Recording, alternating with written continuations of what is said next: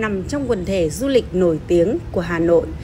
Đường Cổ Ngư, Chùa Trấn Quốc, Hồ Tây, Hồ Trúc Bạch với không gian trong lành, thoáng đãng, nhà hàng, bánh tôm Hồ Tây là địa điểm lý tưởng để chúng ta có thể gặp gỡ tụ họp với nhau. Ở nhà hàng, chúng ta sẽ được thưởng thức món bánh tôm Hồ Tây truyền thống, một đặc trưng của nền văn hóa ẩm thực Thăng Long Hà Nội cùng với nhiều món ăn đặc sản Âu Á.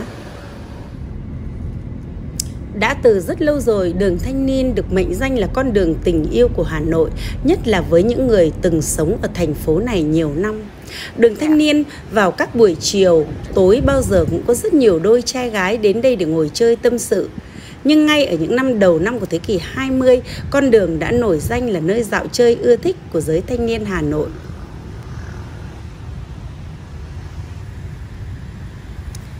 Chạy ven hồ Tây, đường thanh niên cũ là đường cổ ngư và cái tên này có một vài cách lý giải khác nhau. Thuyết phổ biến nhất cho rằng cổ ngư là đọc trạch từ cổ ngự nhưng cách lý giải trên cũng chưa được thống nhất hoàn toàn.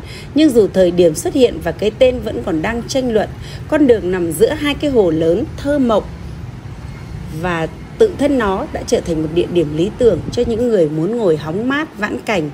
Ban đầu ở đây chỉ là một con đường nhỏ, rồi đến cuối những năm 1950 của thế kỷ 20, con đường được mở rộng bởi công sức của thanh niên Hà Nội và từ đó mang tên Đường Thanh Niên. Tại địa điểm này, một mặt nhìn ra đường Thanh Niên, một mặt nhìn về phía hồ Trúc Bạch, một nhà hàng nổi tiếng với món bánh tôm Hồ Tây.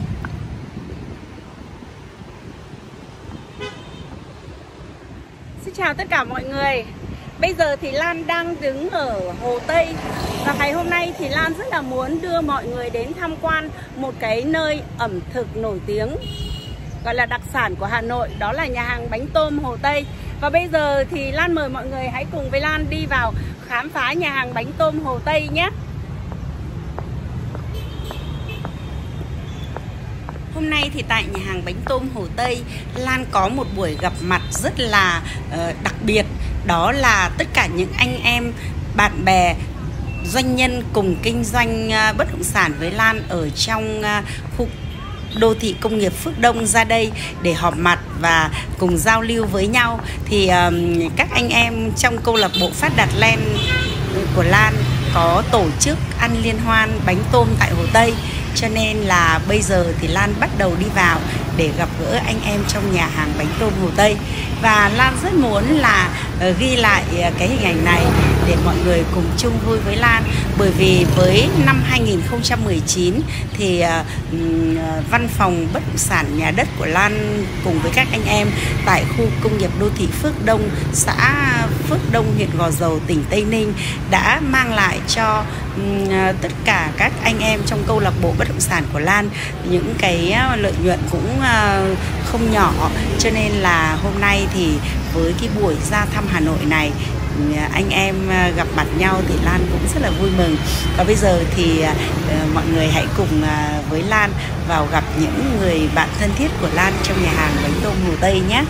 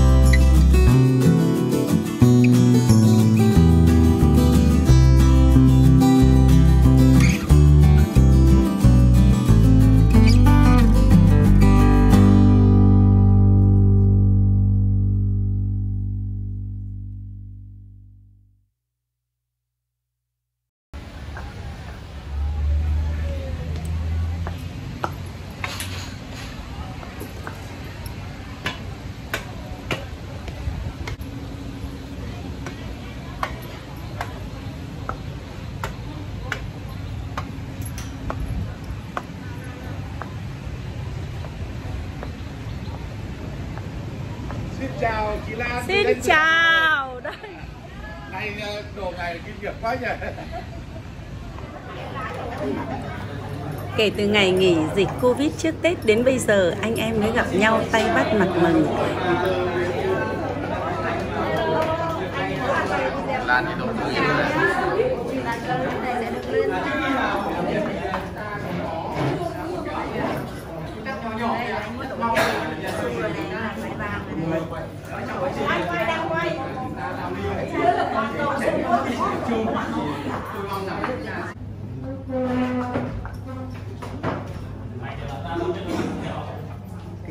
kỳ điện thoại ra.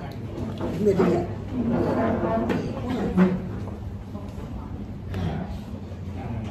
Rồi, ok.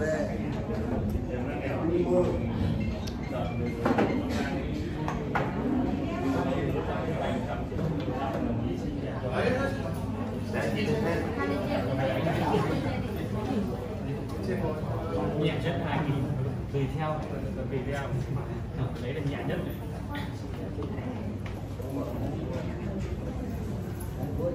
Xinh, thế ba chị em xong nói em xong Đây ông Thắng là lạ đấy. Như bọn xe thôi sau một buổi sáng thức dậy thì có khoảng 10 ngàn mất việc 10 ngàn người mất việc à, vậy thì à, trong quá trình đang khó khăn như vậy thì cái đồng vốn chúng ta à, sẽ quay vòng vào đâu